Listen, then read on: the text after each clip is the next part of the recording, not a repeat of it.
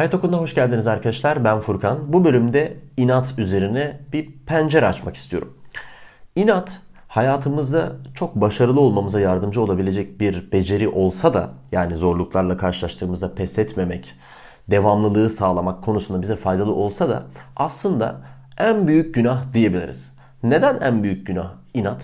Çünkü benim bildiğim kadarıyla şeytanın işlediği günah inat. Şeytan insan yaratıldığı zaman insana e, saygı duymadığı için, ona secde etmek istemediği için ve kendisini ondan üstün gördüğü için yani kibir ettiği için cezalandırılıyor. Fakat şeytan lanetlenmesine rağmen kendisine ne olacağı bildirilmesine rağmen defalarca tövbe etme yani hatasını kabul etme fırsatını tepiyor yine de inat ediyor ve yine de kendi bildiğini okuyor.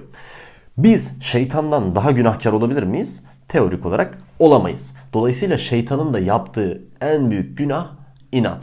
Yine yaratıcı kutsal kitaplarında insanın ne kadar büyük gafletlere düşeceğini, ne kadar hatalar yapabileceğini, aslında içinde ne kadar büyük kötülükleri de barındırdığını söylüyor. Fakat yaratıcıyı biz merhametli olarak yine aynı kaynaklardan okuyoruz. Peki yaratıcı merhametliyse ve bizim hatalarımızı kabul ediyorsa bizim yapabileceğimiz yegane hata ne olabilir? Bizim hatalarımızın farkında olmamamız ve bu hataları işlemekte inatçı olmamız. Peki bizim buradaki temsilden çıkarmamız gereken ders nedir? Hatalarımızda inatçı olmamamız, açık fikirli olmamız, yani birileri bize yanlışımızı söylediği zaman ona kulağımızı tıkamak yerine ona kulağımızı açmamız, gerekirse egomuzu küçültmeyi bilmemiz, yerimizi bilmemiz, çok kibir etmememiz en önemli beceri olur. Yaratıcı da zaten insanlara siz yerinizi bilirsiniz, siz hatanızı fark ederseniz ben sizin günahlarınızı affederim dediğini biliyoruz.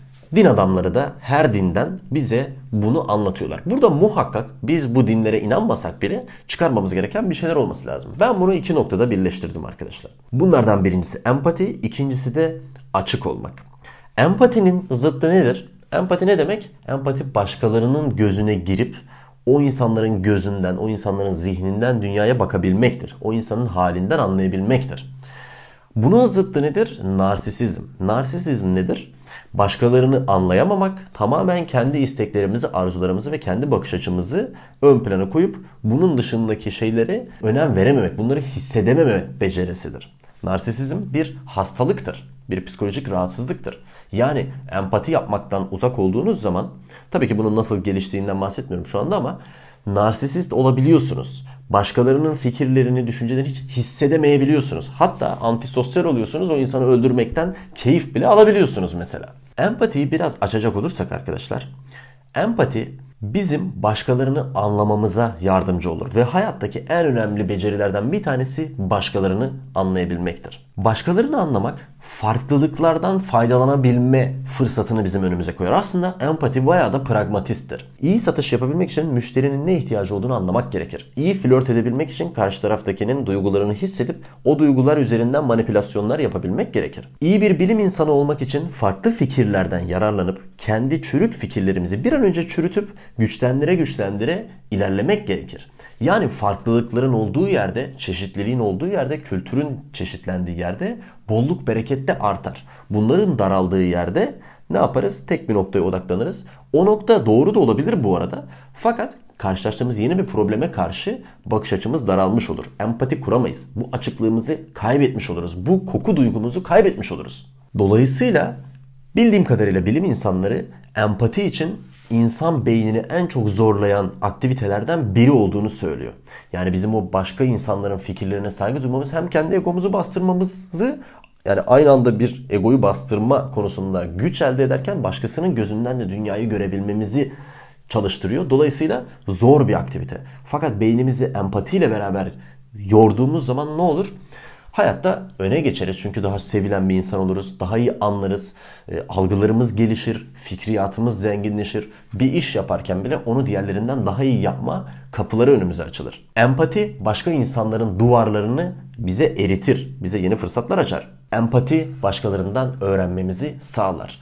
Dolayısıyla ne yapıyoruz? Bu en büyük günah işlemek yerine empati kasımızı çalıştırmaya özen gösteriyoruz. İkincisi de açık fikirlilik demiştim. Açık fikirliliğin zıttı nedir? E, kapalı fikirlilik, inatçılık. Aristoteles'in söylediği iddia edilen bir laf var ve ben bu lafa bayılıyorum. Gelişmiş beynin göstergesi farklı fikirleri, onları kabul etmeksizin düşünebilmeyi, eğlendirebilmeyi gerektirir demiştir. Bizim daha iyi olabilmek için olduğumuz halimizden farklılaşmamız lazım. Çünkü olduğumuz halimizden farklılaşmazsak daha iyi olamayız. Yani mantıken ters. Farklılaşma, değişim de muhakkak bizim yeniliklere açık olmamızı gerektirir. Yine yeniliklere kapalıysak biz nasıl farklılaşacağız? Dolayısıyla otomatikman bizim açık fikirli olmamız bizim zenginleşmemiz için şart. Ya da bizim kapalı fikirli olmamız bizim çürümemiz ve küçülmemiz için şart. Bunu politikada da görüyoruz. Bunu sosyal ilişkilerde de görüyoruz. Bunu hayatın her alanında görmemiz çok olası. O halde bize düşen nedir? Açık fikirlilikle, empatiyle başkalarını dinleyip onları anlayıp onlardan bir şeyler ders çıkarabilme becerimizin olması lazım. Tabii ki biz kendi fikirlerimize, kendi zevklerimize, kendi inanışlarımıza, kendi iş yapma biçimlerimize çok saygı duyuyor olabiliriz. Örneğin biz bir partiye oy veriyoruzdur, öteki başka bir partiye oy veriyordur. Ama ne demişti Aristoteles? O insanların fikirlerini de anlayıp onları eğlendirebilmek, bunu kabul etmeksizin akıllı insanın meziyetidir. Biz insanları anlayacağız, dinleyeceğiz, açık olacağız. O kişi bizim için terörist olabilir. O kişi bizim için çok kötü bir insan olabilir. O kişi bizim için beş para etmez bir insan olabilir. Vaktimize de değmeyen birisi olabilir. Ama narsist olmak veya inatçı olmak yerine en azından onu bir duymaya çalışmak, oradan bir şey öğrenmeye çalışmak, en azından ona karşı koyup vakit harcamak, savaşmak yerine bize yeni kapılar açabilir.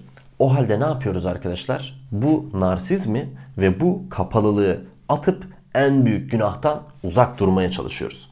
Biz bu inadı yapmadığımız zaman, esnek olduğumuz zaman karaktersiz ya da gevşek olacağız anlamına gelmiyor. Aristoteles'in dediğini hatırlatalım. Onları kabul etmeksizin, onları normalleştirmeksizin bunlar sizin için yanlış şeyler de olabilir. Buna karşı inadı azaltmamız lazım.